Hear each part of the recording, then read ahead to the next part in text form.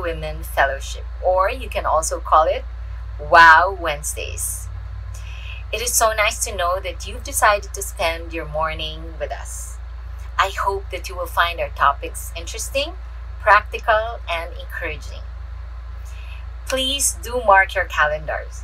That's every Wednesday at 10 a.m. is Wow Wednesdays. Before we go to our speaker this morning, why don't we have an icebreaker first? It's going to be fun and easy. The mechanics goes like this. We will be showing you five images on screen and all you need to do is guess what each image mean. Here's an example.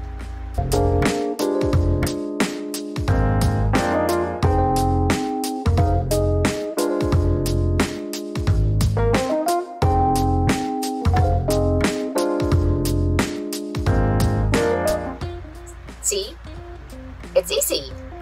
So get a piece of paper, number it 1, 2, 3, 4, 5, and start writing down your answers. And then you take a picture, send it right away to the link you will see below. And yes, we are serious. The first five correct answers will get the prize. We will contact you and then get your address and send the prize right in your own doorsteps. Enjoy the game!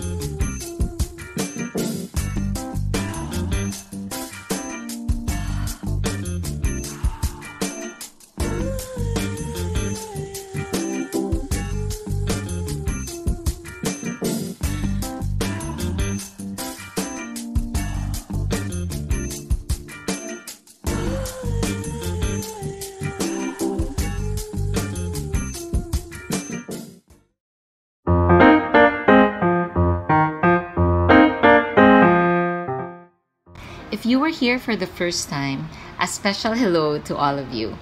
It is not an accident that you are here. If it's your first time joining Wow Wednesdays, we encourage you to stay after the message for our breakout session. In order for us to identify you as a first timer, please comment at hashtag first timer and the satellite that you belong to. If you are not yet part of any satellite, it's okay. Just comment hashtag first timer. After the message, we encourage you to join our breakout groups. It's going to be fun.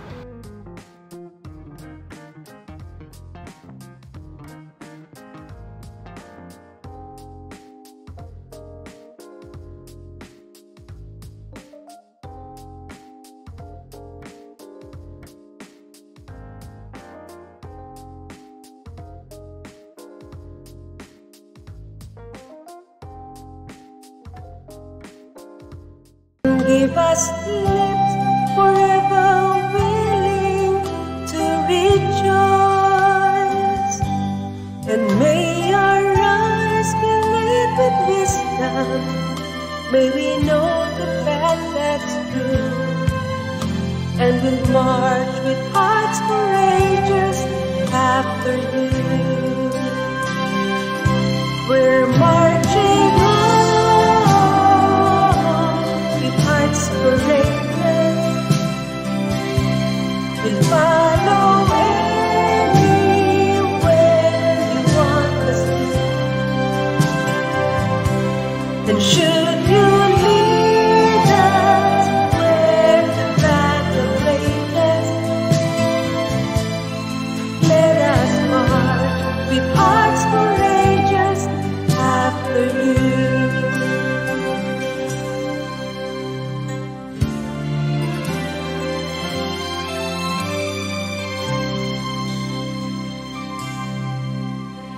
And sorrow things collide along our way, help us see each time of darkness eyes of faith. A time for hope, a time for courage, knowing you will lead us through. And let us march with hearts courageous after you. We're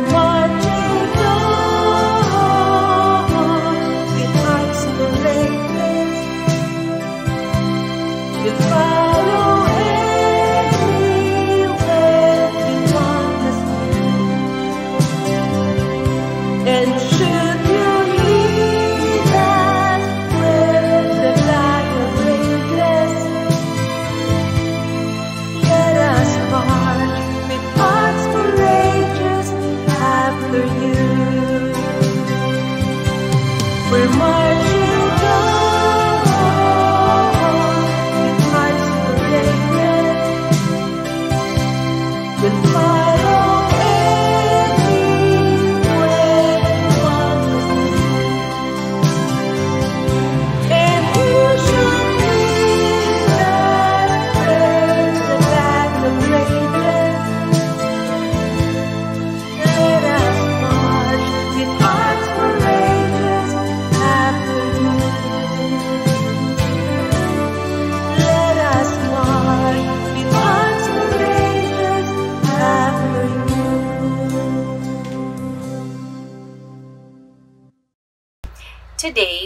talking about the life of Queen Esther and the impact that she made not only to her own people, but to the generations to come.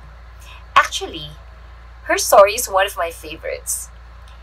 It has encouraged me in many seasons in my life. Our speaker this morning is a loving wife to Pastor Roy and a ministry partner a mother of five boys, a faithful servant of Jesus, and my discipler for more than 15 years. Sasa Felipe. Hello, women of worth. Wow, ladies. I am very, very happy to be able to share with you today.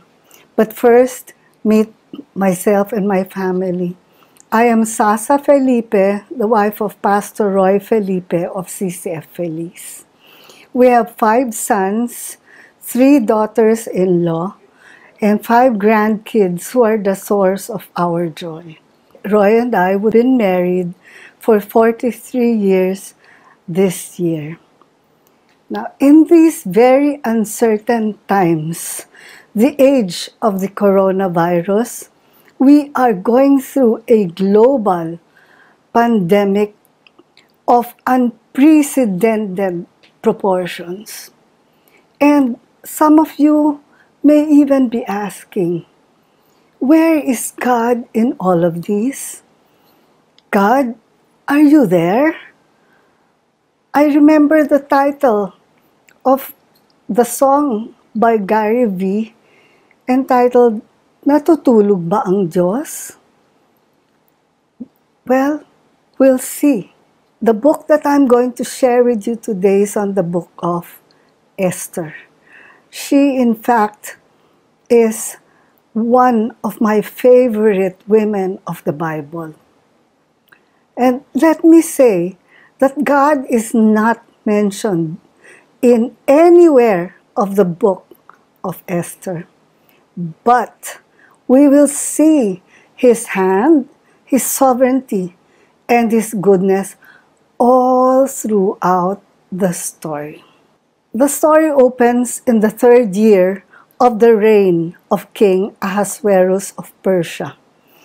Yes, he is also known as King Xerxes. He is the grandson of King Cyrus and the son of King Darius.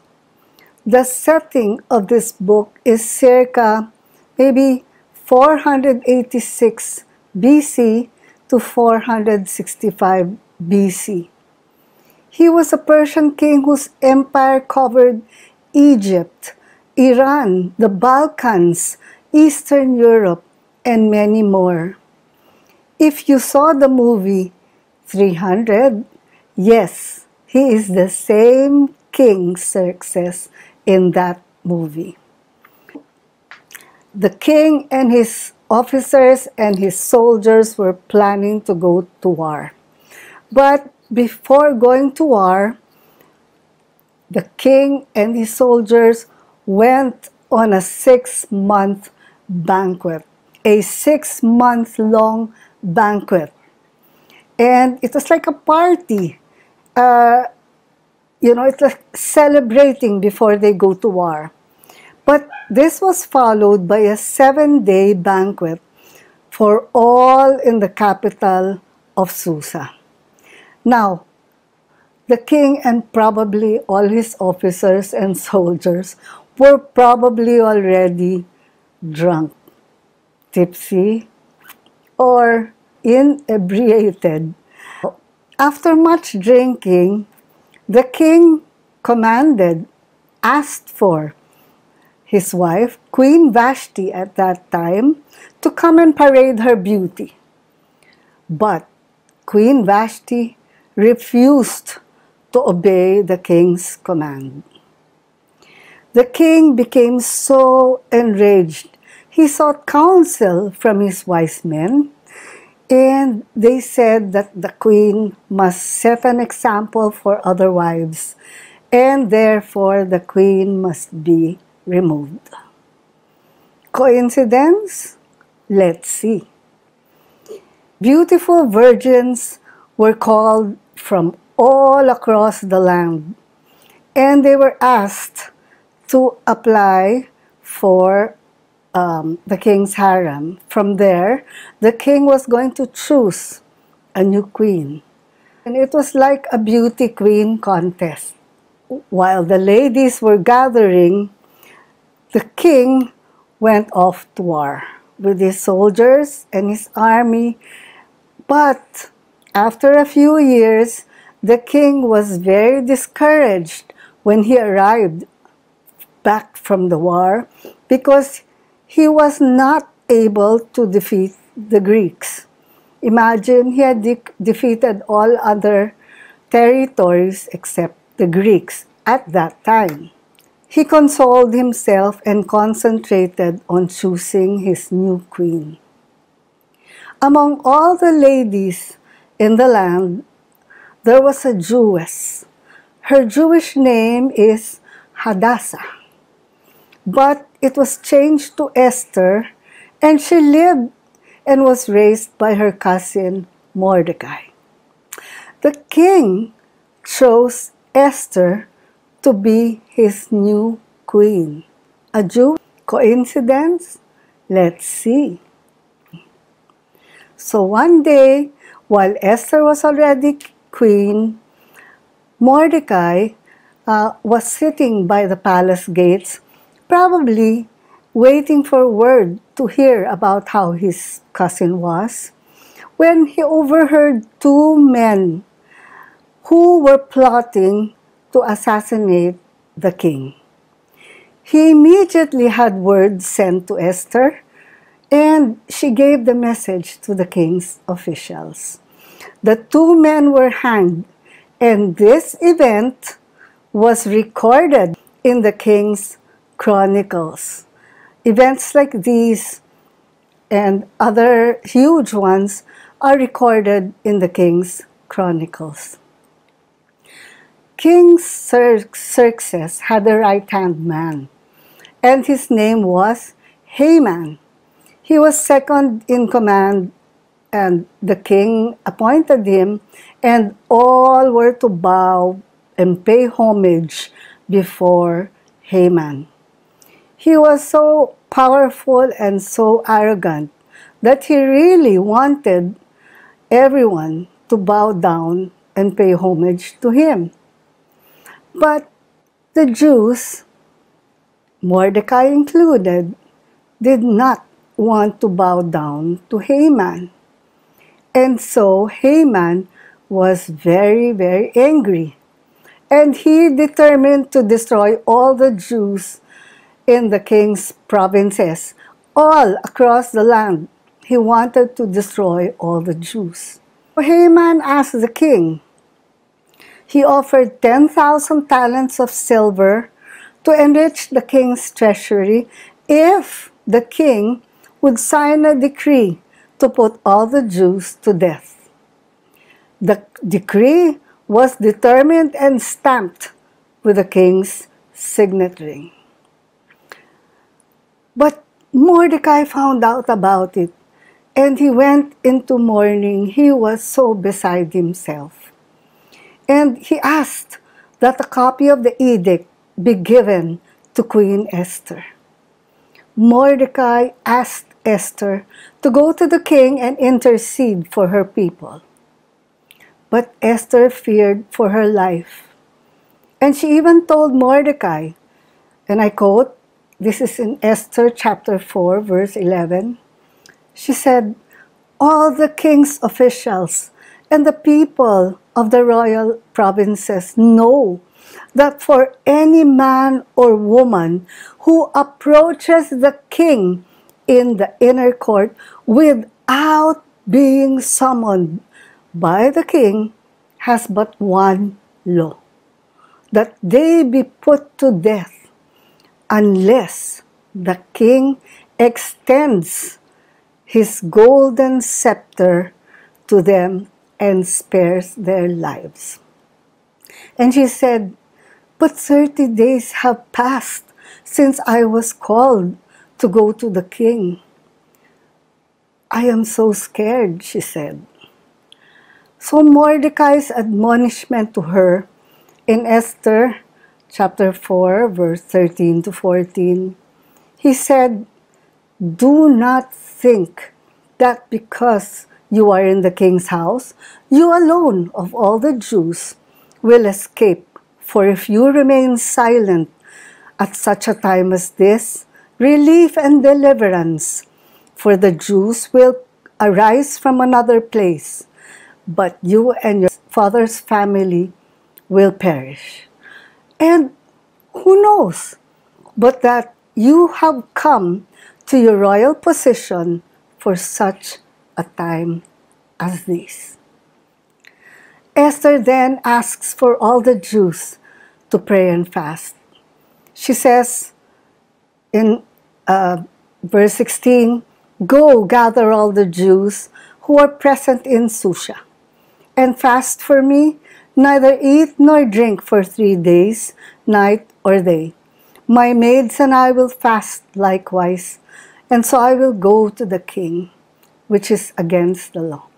And if I perish, I perish. After fasting and praying, Esther boldly and bravely went before the king without being summoned. But Lo and behold, when the king saw Queen Esther, he held out his golden scepter.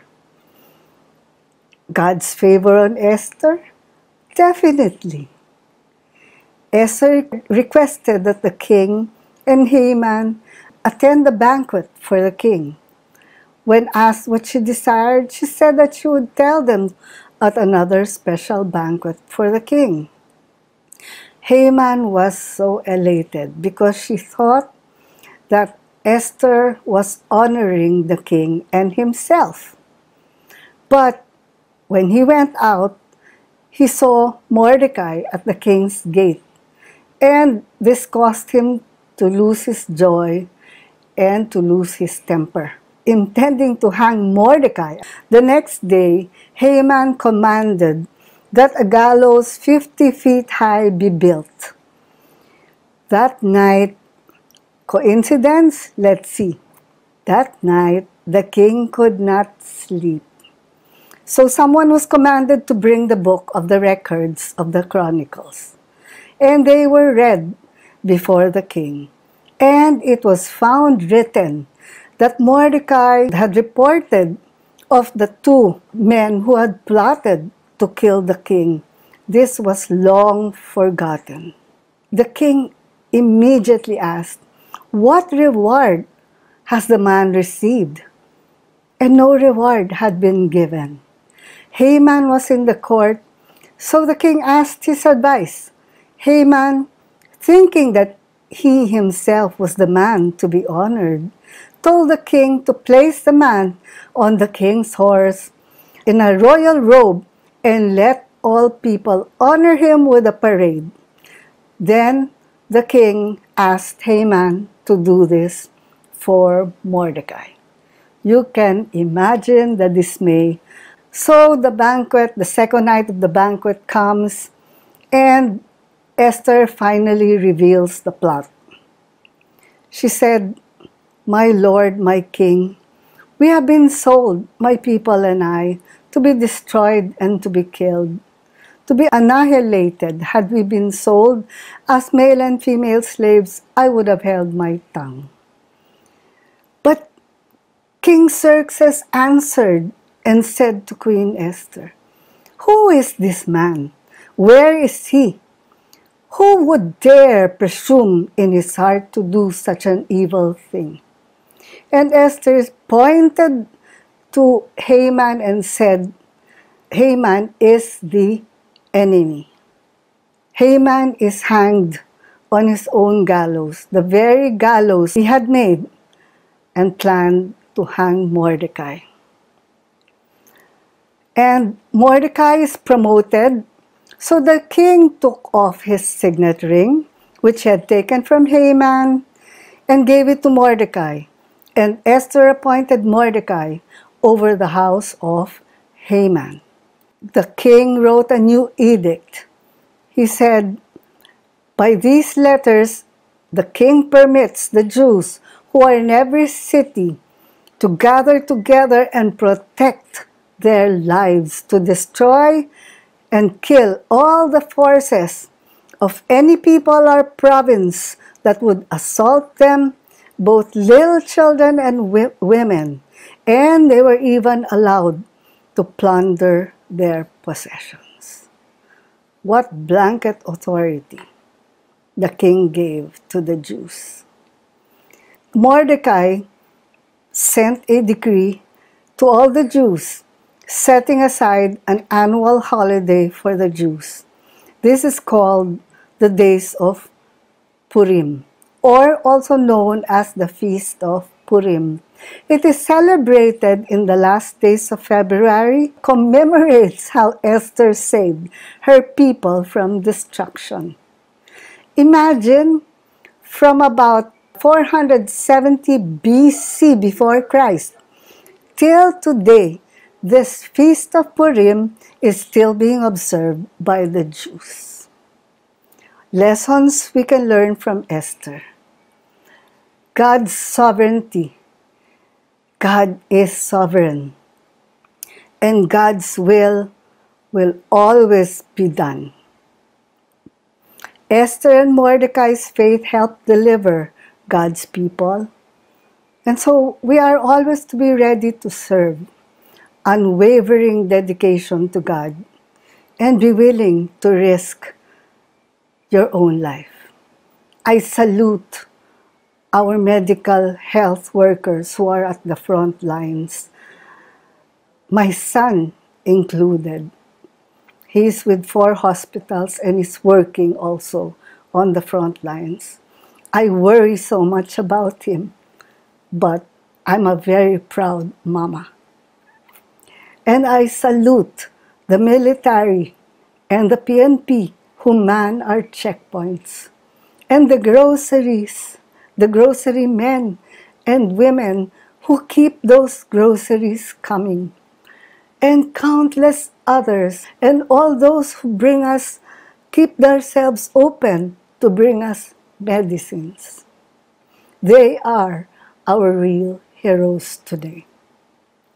So, how is God's sovereignty displayed in the book of Esther? God is not mentioned, not once in the book of Esther, as I mentioned earlier. We can see his hand all over the book of Esther. Queen Vashti was removed as queen. Not a coincidence. God's orchestration. Opening the door for Esther, a Jew, to be chosen as the new queen. Mordecai happened to be sitting by the palace gates and overheard two men planning to, to kill the king. And he had told Queen Esther, who told the king, and this incident was written in the chronicles of the king and was forgotten after several years.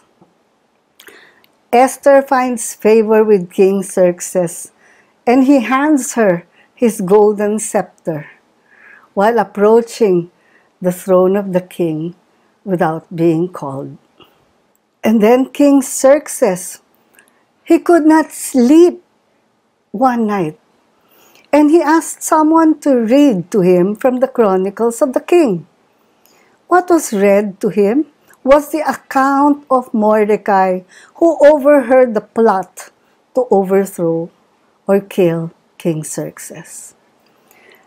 Remember, this had long been forgotten, but God never forgets. Then Haman gives orders to build a 50 feet gallows so he could have Mordecai, Mordecai hung. His, his hatred of the Jews consumed him so much but King Xerxes rewards Mordecai for reporting about the plot to overthrow him. And Esther reveals that Haman is behind the evil plot to destroy the Jews, and Haman is hanged on the gallows that he had built for Mordecai. King Xerxes appoints Mordecai second in command not a coincidence. King Xerxes signs an edict to protect and save all the Jews, not a coincidence. Up to today, the Feast of Purim is still being commemorated by the Jews to celebrate how God used Queen Esther to save his people, not a coincidence. You tell me, where is God in all of this that's happening? He is here. And He knows. Natutulog ba ang Diyos? Never. I would like to uh, close with this excerpt from the movie Apollo 13. Let me tell you first a brief, brief background. Apollo 13 was the third mission of NASA supposed to land on the moon in 1970. The spacecraft experienced an oxygen tank failure on the way to the moon. The mission was aborted despite the dangers of not having enough oxygen, and the three astronauts, aided by the Ground Control Center, were able to find ways to conserve the remaining oxygen to bring back all three alive. Otherwise, it would have been the worst disaster of NASA. So now, please watch this excerpt. Is this typhoon still present in the splashdown? Yeah. Here We got the uh, parachute situation, the heat shield, the angle of the trajectory, and the typhoon. There's just so many variables. I'm a little I know what lost. the problems are, Henry. This could be the worst disaster NASA's ever experienced. With all due respect, sir, I believe this is going to be our finest hour.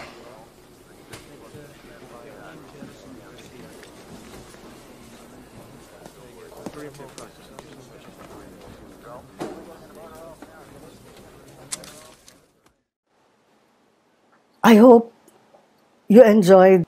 And ladies, I say to you, do not fear. God is working. He is for us. And yes, this will be our finest hour. Let us pray. Lord Jesus, Father God, Thank you for teaching us precious lessons from the book of Esther. Thank you for reminding us that you are sovereign, that you are in control, and that you, your goodness will always, always be with us. Thank you for reminding us that even if we do not see your hand, you are at work. Allow us, Lord, in this in the midst of this crisis to be still and know that you are God. Allow us to relinquish control of the things we cannot control and surrender to you all our worst fears, Lord, and our worries and anxieties. Thank you, Jesus. We know, Lord, that you are going to see us all through. And yes, you will make this one of our finest hours. We love you, Lord Jesus, and we pray all these in your mighty and exalted name. Amen. Good day, ladies, and thank you. Hello, brothers and sisters. That was a wonderful message from my wife, Sasa, about Esther from the book of Esther. As we wrap up, let me read to you again what the book of Esther tells us, especially in chapter 4, verse 14. Who knows whether you have not attained royalty for such a time as this? Let me read it again. And who knows, who knows whether you have not attained royalty for such a time as this? May I ask, who among us are in a difficult situation right now, just like Esther? Perhaps you've lost your job. Perhaps you're sick because of this COVID. Perhaps you, your business is on the verge of collapse. And it is a difficult, painful time for you. May I propose that perhaps you are just like Esther. God has put you in such a situation for such a time as this because He has a purpose for you. What is that purpose? May I read to you once again? In Romans chapter 8, verse 28.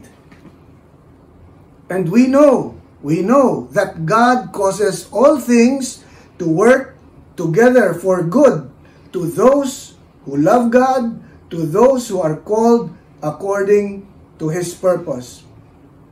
What does Romans 8.28 tells us? We know that God causes all things to work together for good. Have there been difficult situations in your life and you're wondering, why did this happen to me? Perhaps that painful event is still happening right now because of this pandemic. And you're asking yourself, why is this happening to me?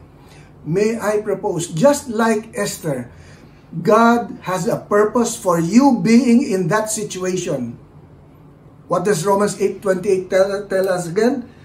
And we know that God causes all things, all things, the good events and the bad and painful events, God causes all things to work together for what? For good. And what is the condition?